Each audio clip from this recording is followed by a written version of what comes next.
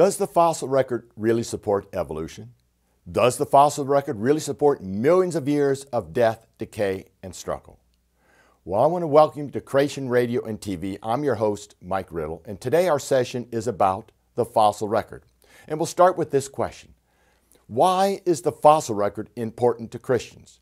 Well, the answer to that is because it will help us understand what we believe about God's Word, specifically in three areas. Number one, the authority of Scripture. Does the Bible really mean what it says, or can we reinterpret it based on what we believe about the scientific evidence? Number two, it will help us understand the foundation for the gospel of Jesus Christ. And number three, it will help us understand the very character of God. So let's take a look at all three of those before we get into the scientific evidence.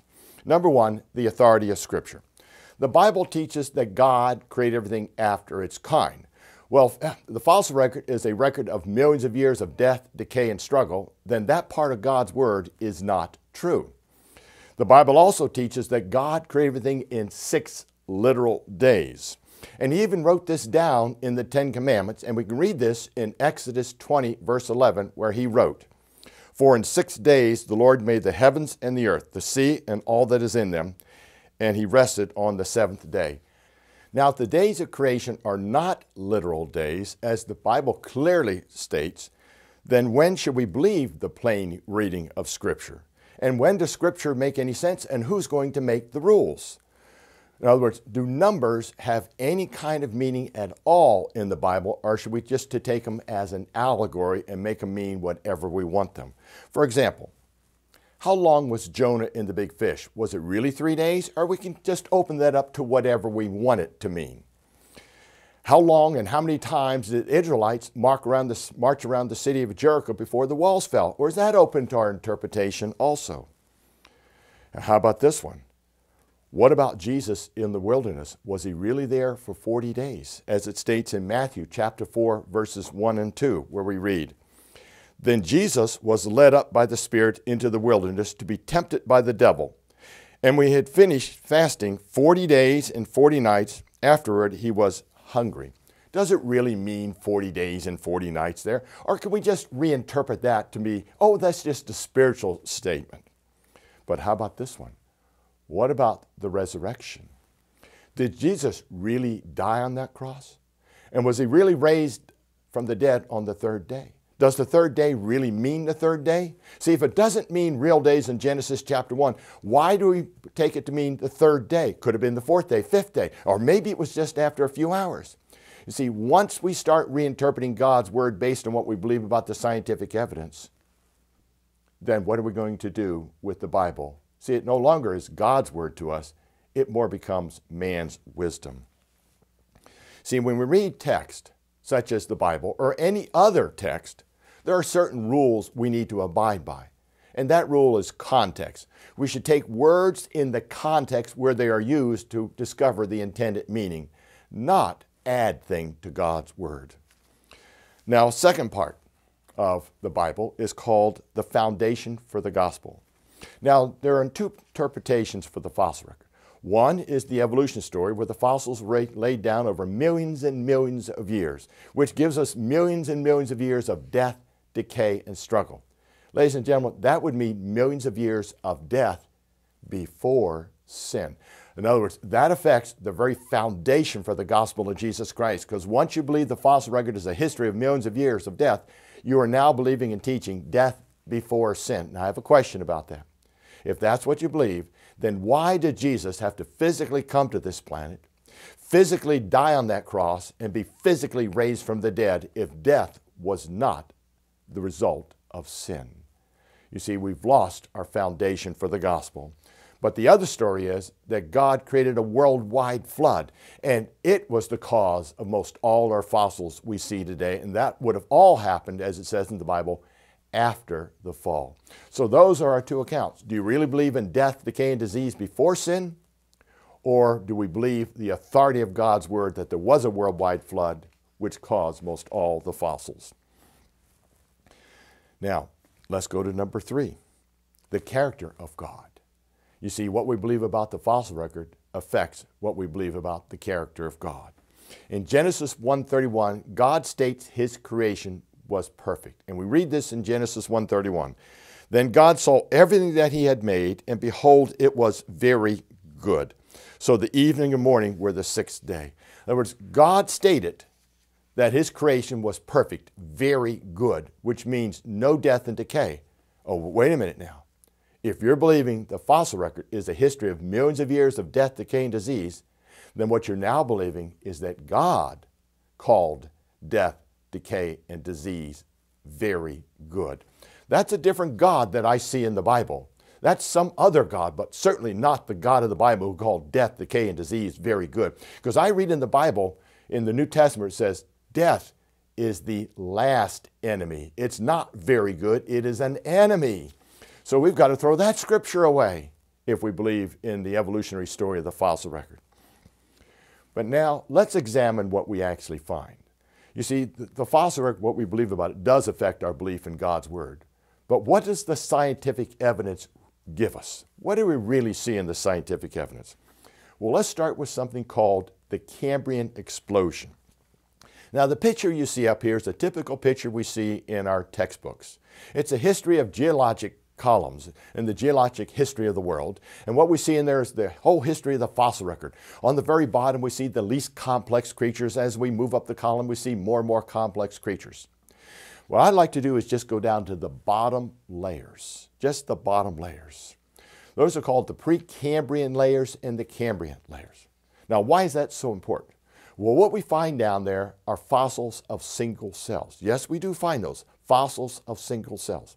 Then we also find very complex creatures such as seashells, trilobites, jellyfish, even some forms of fish down there. Now, what's so amazing about all that? Well, the amazing part is there are no transitions to be found leading from a single cell up to these very complex creatures. Almost every body shape or type appears in the fossil record with no transitions leading up to it. Let's read what the scientists have to say about this. Norman Nevin, who is a professor of medical genetics, states this.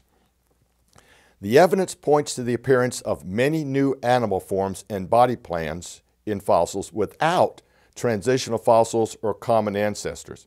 In early Cambrian rocks, as many as 35 phyla and between 32 to 48 subphyla and classes of animals appeared abruptly, apparently from nowhere at all, fully formed with no fossil evidence that they branched off from common ancestors. Did you get what he just said there? No transitions leading up to these complex creatures. Now, in the book Integrative and Comparative Biology, we read this Understanding how diverse body plans evolve remains one of the most exciting and challenging goals for evolutionary and developmental biologists alike. Did you get what he just said there? Can't find any transitions, but it's an exciting adventure to see if we can find any. Well, folks, we've had many, many, many years of searching and still have no factual transitions leading up to all these incredibly complex creatures. It's as if, as the Bible states, they were created after their kind, and that seems to be the fact. Now, the scientists do know the Cambrian explosion is a problem for evolutionists, as we read this again. As Darwin noted in The Origin of Species, the abrupt emergence of arthropods in the fossil record during the Cambrian presents a problem for evolutionary biology. There are no obvious, simpler, or intermediate forms, either living or in the fossil record. Wow!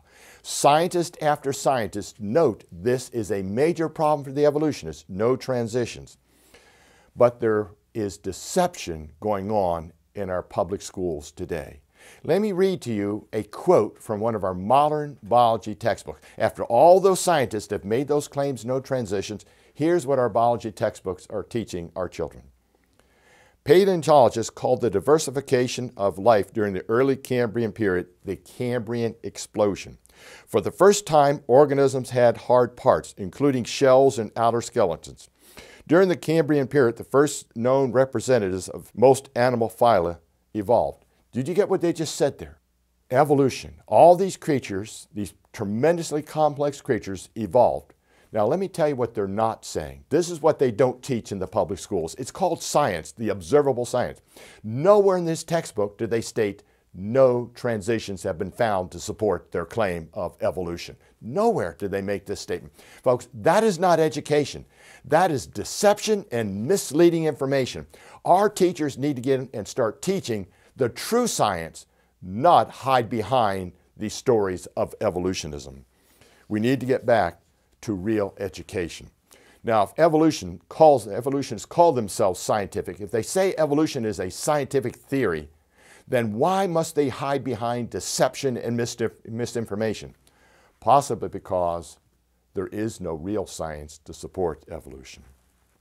Possibly because evolution is nothing more than a philosophy or worldview.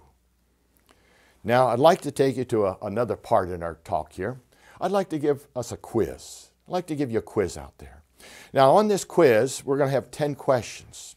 And let's see if we can get all these correct. It's not a hard quiz. It's not going to be a hard quiz, but let's see if we can get all 10 of these correct. What I'm going to show you is a fossil and then a living creature. Let's start with number one, turtles. On the left-hand side of this picture, you see a fossil turtle. On the right side, you see a living turtle. Now I have a question. What does a fossil turtle look like? It looks like a turtle today. In other words, no evolution. Turtles have always looked like turtles. Now let's look at another one.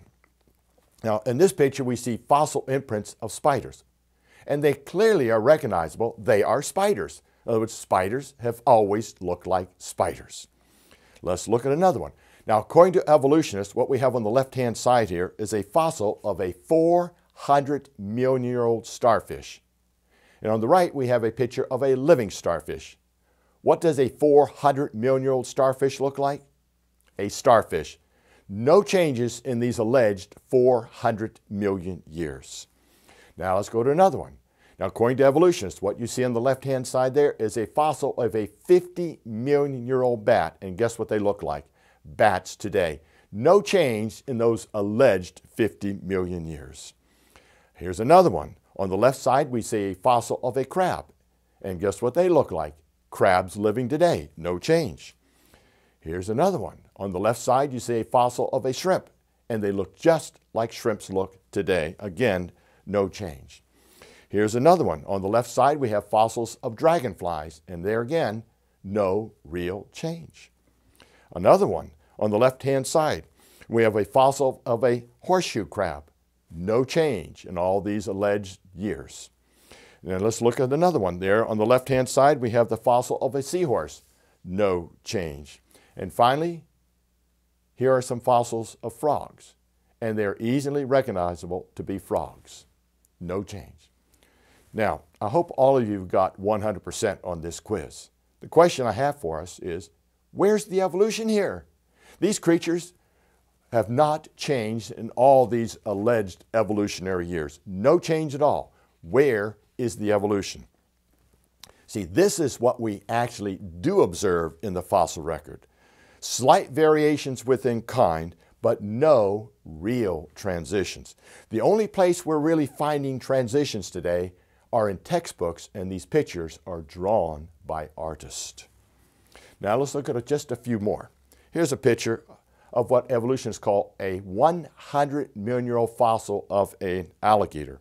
It looks like alligators today, no change.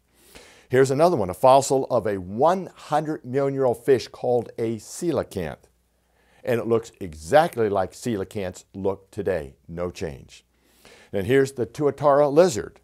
No change in over 130 million years. Where is the evolution? Perhaps they need to hire some more artists. Now, if evolution was really true, if evolution was really true, we should find some real transitions. Let me show you what these transitions might look like. For example, how about the gator bird? That would be a very interesting transition, wouldn't it? Here's another one. How about what I call the bunny cat? There would be another amazing transition. Or here's another one I call the rhino melon. Watch out for going out in your garden. You might find one of these. How about the bird dog? Or how about this one? the sparrow boxer. How'd you like to have that one on your finger? Or how about this one? The improved polar bear. Now look closely at this one and count the legs. That would be a great transition. Or how about this one? The sheep wolf. Now that one really is a transition. You know where we find sheep wolves? How about inside many churches today? Wolves dressed in sheep's clothing, teaching false doctrines. Or how about this one? Watch out for going in the water. How about the cat shark? And how about this final one? Only a face a mother might love. How about the Cotrilla? Now, these are not real transitions, but just computer artwork here. But if we really found transitions, we should find something that's amazingly a transition, not slight differences, such as the dog kind. We know dogs can vary within kind. We know cats can vary within kind, but folks, that is not evolution. That's just called genetic variability. Now let's go to our next piece here about science. I call this critical thinking. And I'd like to give you what I call a critical thinking question. Every one of our high school and junior high students should be armed with this question when they walk into the classroom. They should be thinking about this when they see pictures of transitions or asking this question of the teacher. How much of that fossil was actually found and how much was added, meaning drawn in by the artist? Did you get that? How much of the fossil was actually found and how much was added in by the artist? Now let's use a biology textbook for our example here.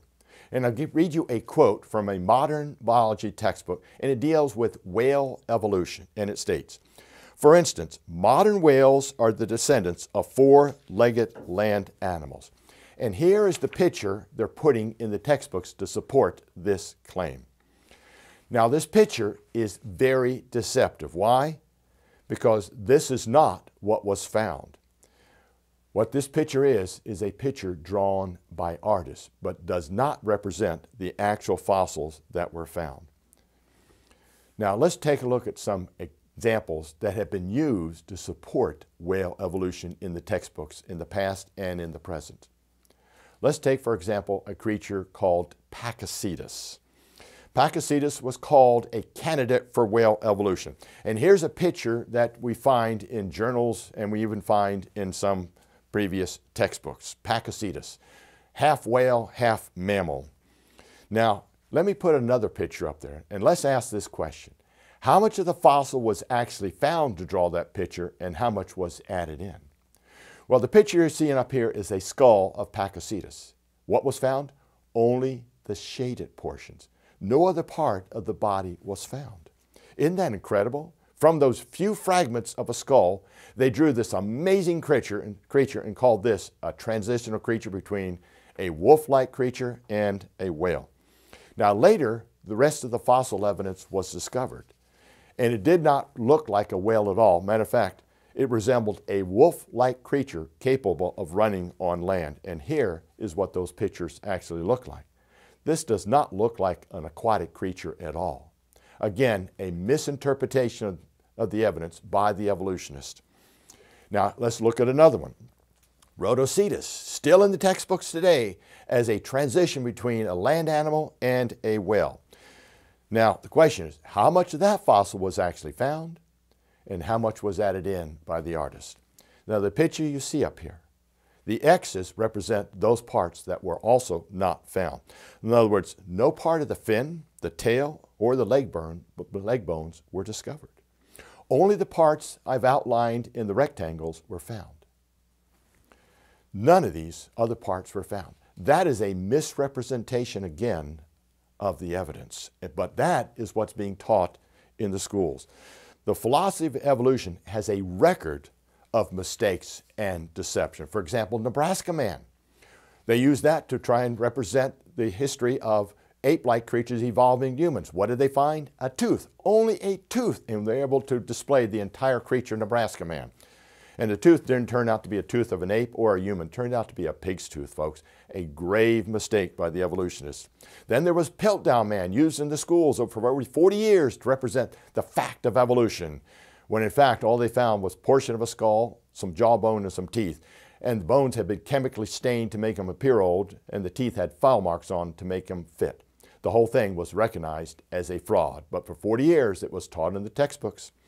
Then there's Archaeoraptor, a more recent discovery in the 1990s. Archaeoraptor, proof that dinosaurs evolved into birds. The big problem was it didn't have real feathers on it, folks. What had happened was somebody pasted feather imprints onto the bones. Again, another fraud used to support evolutionism.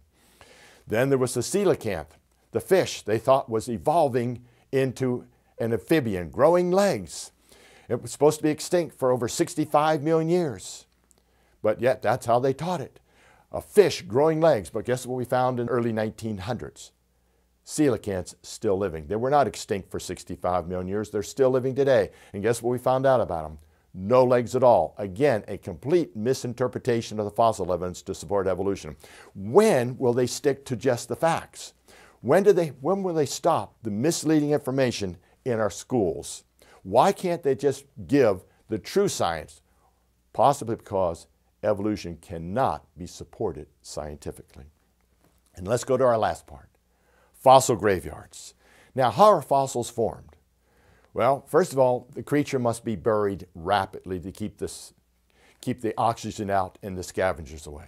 Then it has potential to become a fossil. Well, what do we mean by fossil graveyards? Those are places where we find hundreds and sometimes thousands of creatures all buried together. And we find these fossil graveyards all over the world. And guess what we find them in? Sediments laid down by water. Let's take a look at several examples. In, in Nebraska, in Agate Springs, a fossil graveyard of about 9,000 animals, such as rhinos, horses, camels, boars, birds, plants, trees, seashells, all buried and fossilized together in sediments laid down by water. And incidentally, all those creatures don't live in the same zones. In Alberta, Canada, there's a huge graveyard that stretches for hundreds of miles and holds many dinosaur bones. And then there's a repository of fossils that were found in South Africa. The Karoo Formation in South Africa alone contains fossil remains of millions of animals. Richard Milner in the Encyclopedia of Evolution made this statement about that fossil graveyard. Only a catastrophe operating on a continental scale would be sufficient to account for this. Did you get what he just said there? A catastrophe that covers an entire continent. Sounds like a worldwide flood. Then we have in Wyoming, the Como Bluffs, dinosaur graveyard, seven miles long, containing 483 dinosaurs, all buried in sediments laid down by water. The Cleveland Lloyd Quarry in Utah, over 12,000 bones belonging to at least 74 individual dinosaurs discovered. Alaska and Siberia, a graveyard of many, many different types of creatures. Dinosaur National Monument in Utah, a fossil graveyard containing over 1,600 bones of 11 different species of dinosaurs. The Grand Canyon, billions of nautiloid creatures, seashells, in a seven foot thick area in the Grand Canyon. Billions of these creatures. Now, these creatures don't live on land, they live in the bottom parts of the ocean. And the Grand Canyon's a mile above sea level. How did all these creatures get in there? Sounds like a worldwide flood. France, hundreds of thousands of marine creatures buried with amphibians and spiders and scorpions, millipedes, and reptiles. Germany, another large fossil graveyard. 6,000 types of fossils, vertebrae, were found there. Fossil graveyards, I believe, are powerful evidence of a worldwide flood and not long, slow processes because these creatures all had to be buried rapidly to have fossil potential. So what can we conclude about all this? Well, Norman Nevin, again, a professor of medical genetics, makes this statement. The fossil record does not show a continuous, gradual evolution, but rather an abrupt and sudden emergence of new life forms. Many organisms appear without known ancestors. Indeed, some life forms persist, persist in the fossil record virtually unchanged throughout geologic history. Eugene Koonin, PhD in molecular biology, makes this statement. Major transitions in biological evolution show the same pattern of sudden emergence of diverse forms at a new level of complexity. In other words, the fossil record does not show evolution to be true. In other words, the Cambrian explosion confirms what the Bible teaches. God created everything after its kind. Number two, the lack of transitional fossils confirm the Bible.